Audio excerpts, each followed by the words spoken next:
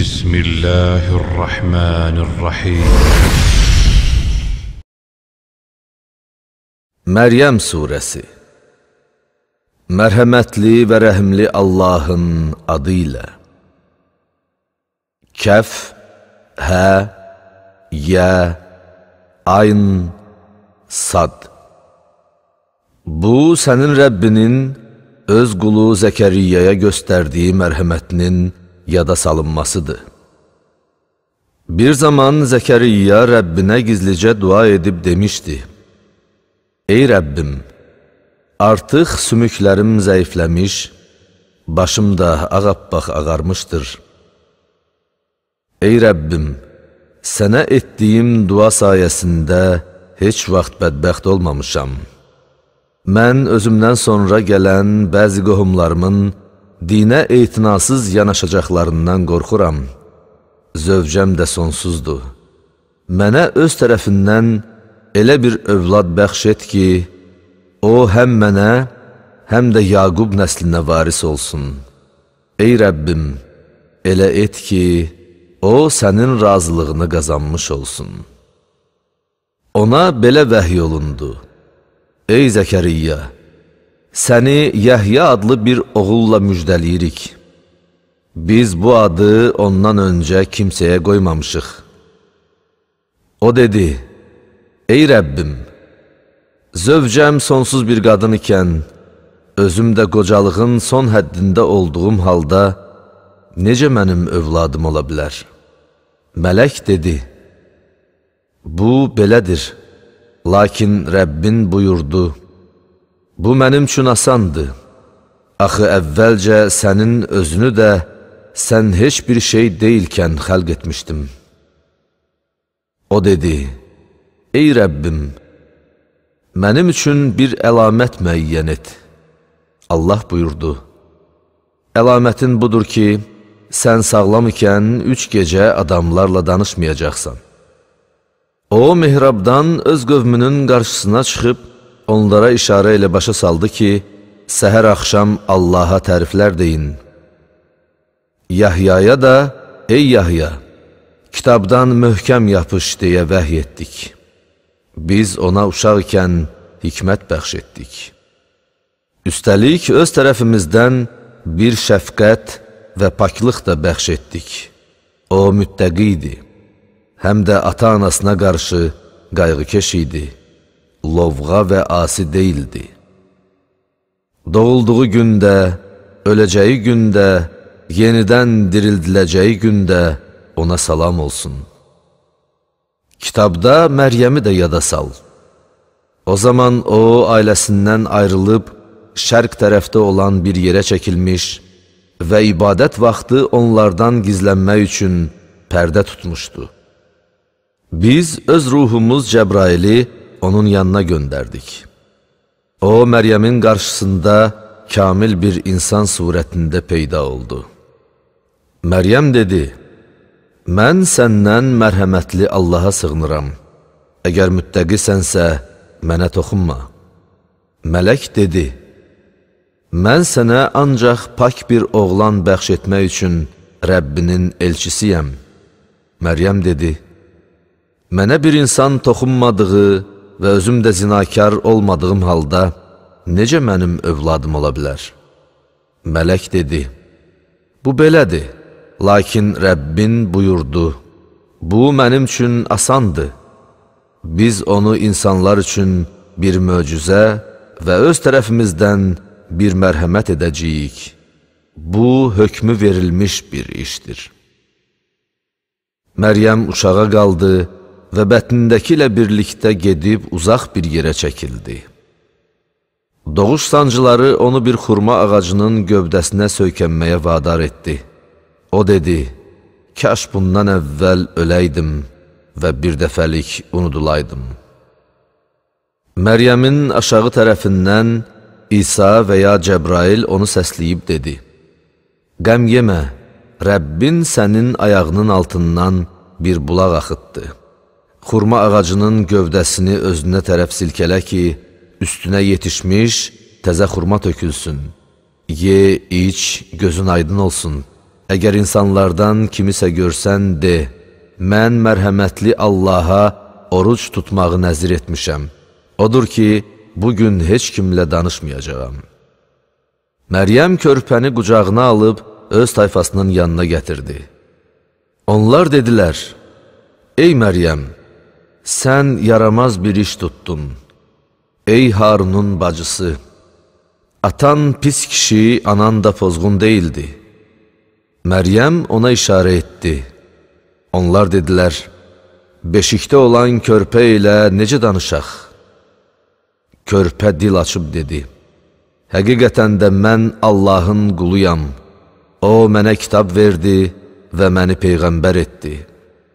Harda oluramsa olum, məni mübarək etdi və nə qədər ki sağam, mənə namaz qılıb zəkat verməyi əmr etdi. Həm də məni anama qarşı qayğıkeş etdi, məni lovğa və bədbəxt etmədi.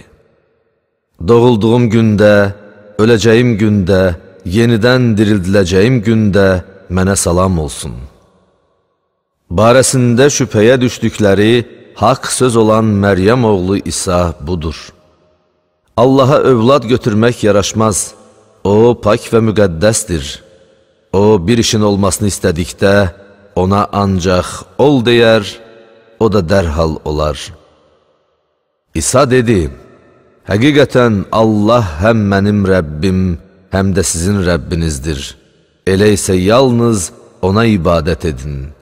Düz yolda budur. Sonra firqələrin arasında ziddiyyət düşdü. Böyük günü görəcək kafirlərin vay halına. Onlar bizim hüzurumuza gələcəkləri gün necə yaxşı eşidəcək, necə də yaxşı görəcəklər. Lakin zalimlar bugün açıq aydın azğınlıq içindədirlər. Sən onları işin bitmiş olacağı peşmançılıq günü ilə qorxut. İndi onlar hələ qəflətdədirlər və iman gətirmirlər. Şübhəsiz ki, yerə və onun üstündə qalanlara təkcə biz sahib çıxacağıq. Onların qayıdışı bizə olacaq. Kitabda İbrahimi də xatırla. Həqiqətən o, sadiq insan və peyğəmbər idi. Bir zaman o atasına demişdi, Atacan, nə üçün eşitməyən, görməyən və sənə heç bir faydası olmayan bir şeyə sitayiş edirsən? Atacan, həqiqətən sənə gəlməyən bir elm mənə gəlmişdir. Arxamca gəl ki, səni doğru yola yönəldim. Atacan, şeytana ibadət etmə. Həqiqətən, şeytan mərhəmətli Allaha çox asi oldu. Atacan, qorxuram ki, mərhəmətli Allahdan sənə bir əzab toxunsun və beləcə şeytana yoldaş olasan. Atası dedi, sən mənim məbudlarımdan üzmü çevirirsən, ey İbrahim. Əgər buna son qoymasan, səni mütləq daşqalaq edəcəyəm. Uzun müddət məndən uzaq ol.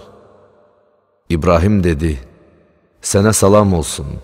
Mən Rəbbimdən sənin üçün bağışlanma diləyəcəyəm.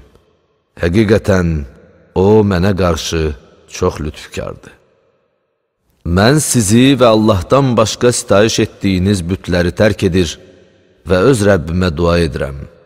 Ola bilsin ki, mən Rəbbimə dua etməklə heç vaxt bədbəxt olmayım. İbrahim onları və onların Allahdan başqa yalvardıqlarını tərk etdiyi zaman, biz ona İshaqı və Yaqubu bəxş etdik. Biz onların hər ikisini Peyğəmbər etdik. Biz onlara öz mərhəmətimizdən əta etdik və gələcək nəsillər həmişə yada salsın deyə onlara yaxşı ad qismət elədik. Kitabda Musanı da xatırla. Həqiqətən o seçilmiş bir elçi və peyğəmbər idi. Biz Musanı sağ tərəfindəki Tur dağının yaxınlığından çağırdıq və onunla danışıb onu özümüzə yaxın etdik. Biz öz mərhəmətimizdən ona qardaşı Harunu da bir peyğəmbər olaraq bəxş etdik. Kitabda İsmaili də xatırla. Həqiqətən, o öz vədinə sadiq idi. O bir elçi və peyğəmbər idi. O öz ailəsinə namaz qılmağı, zəkat verməyi əmr edirdi. O Rəbbinin rizasını qazanmışdı. Kitabda İdrisi də xatırla. Həqiqətən o düz danışan adam və bir peyğəmbər idi. Biz onu yüksək bir məqama ucaltdıq. Onlar Allahın nemət bəxş etdiyi peyğəmbərlərdən, Adəmin və Nuhla birlikdə gəmidə daşıdığımız kimsələrin nəslindən, İbrahimin və İsrailin nəslindən seçib haqq yola yönəltdiyimiz kimsələrdəndir.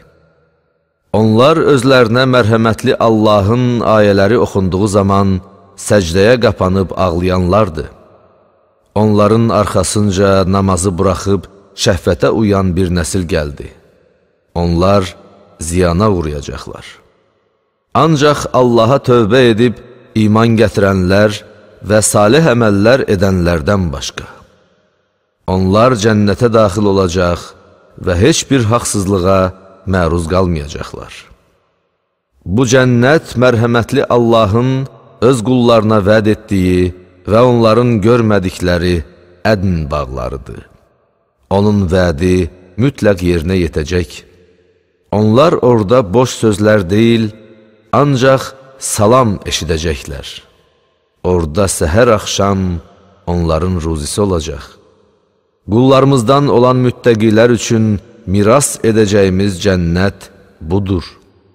Mələklər dedi, Biz dünyaya ancaq sənin Rəbbinin əmri ilə enirik.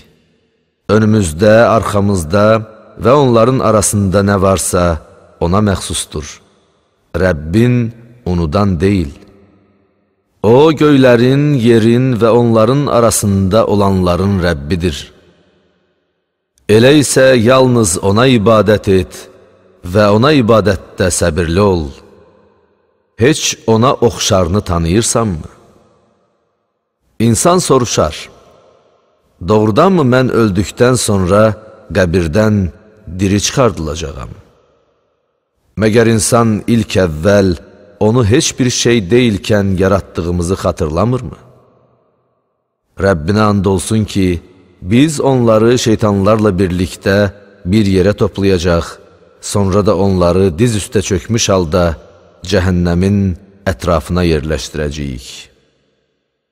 Sonra hər firqədən mərhəmətli Allaha ən çox asi olanı çıxardacaq. Orada yanmağa daha çox layiq olanları əlbəttə ki, biz yaxşı tanıyırıq. İçinizdən hər kəs ora varid olacaq. Bu, Rəbbinin əzəldən müəyyən etdiyi qəti bir qərardır. Sonra biz müttəqiləri oddan xilas edəcək, zalimları isə orada diz üstə çökmüş halda tərk edəcəyik. Onlara açıq aydın ayələrimiz oxunduğu zaman kafirlər möminlərə deyərlər, Bu iki firqədən hansının məqamı daha yaxşı, məclisi daha gözəldir? Biz onlardan əvvəl var dövlət və zahiri görünüşcə onlardan daha üstün olan neçə-neçə nəsilləri məhv etdik. De ki, qoy mərhəmətli Allah azğınlıqda olan hər kəsə uzun müddət möhlət versin. Nəhayət özlərinə vəd olunan ya əzabı, ya da o saatı gördükləri zaman onlar kimin məqamının daha pis, kimin ordusunun daha zəif olduğunu biləcəklər. Allah doğru yolda olanların doğruluğunu artırar. Əbədi qalan yaxşı əməllər isə Rəbbinin yanında savab baxımından daha xeyirli, aqibətcə daha yaxşıdır. Ayələrimizi inkar edib, mənə hökmən var dövlət və övlad veriləcək deyən adamı gördünmü? Olmaya o qeybdən xəbərdardır, yoxsa mərhəmətli Allahdan vəd almışdır? Xeyr, biz onun dediklərini yazacaq və əzabını qat-qat artıracaq. Onun dediyi şeylər bizə qalacaq və o hüzurumuza tək-tənha gələcək. Müşriklər Allahdan başqa məbudlar qəbul etdilər ki, onlara kömək olsunlar. Xeyr, qiyamət günü o məbudlar onların ibadətini inkar edəcək və onların əleyhinə çıxacaqlar. Məgər kafirlərin üstünə onları günaha sövq edən şeytanları göndərdiyimizi görmürsənmi? Odur ki, onlardan ötürü əzab diləməyə tələsmə. Biz onların günlərini bir-bir sayırıq. O gün biz müttəqiləri mərhəmətli Allahın hüzuruna hörmətli nümayəndələr kimi toplayarıq. Günahkarları isə cəhənnəmə susamış olduqları halda qovub apararıq. Mərhəmətli Allahdan əhd almış kəslərdən başqaları şəfayət etməyə qadir olmazlar. Kafirlər, mərhəmətli Allah özünə övlad götürmüşdür, dedilər siz olduqca pis bir iş tutdunuz. Bundan az qaldı göylər parçalansın, yer yarılsın və dağlar yerindən qopub uçsun. Mərhəmətli Allaha övlad isnad etdiklərinə görə. Mərhəmətli Allaha özünə övlad götürmək yaraşmaz. Göylərdə və yerdə olanların hamısı mərhəmətli Allahın hüzuruna ancaq bir qul kimi gələcək.'' Allah onları hesablamış və bir-bir saymışdır. Onların hər biri qiyamət günü onun hüzuruna tək-tənha gələcək. İman gətirib yaxşı işlər görənlər üçün mərhəmətli Allah qəlblərdə bir sevgi yaradacaq. Biz Qur'anı sənin dilinlə asanlaşdırdıq ki, onunla müttəqilərə müjdə verəsən və inatkarlara xəbərdarlıq edəsən. Biz onlardan əvvəl neçə-neçə nəsilləri məhv etdik. Heç onlardan kiminsə mövcudluğunu hiss edir və yaxud onlardan bir hənirti eşidirsənmi?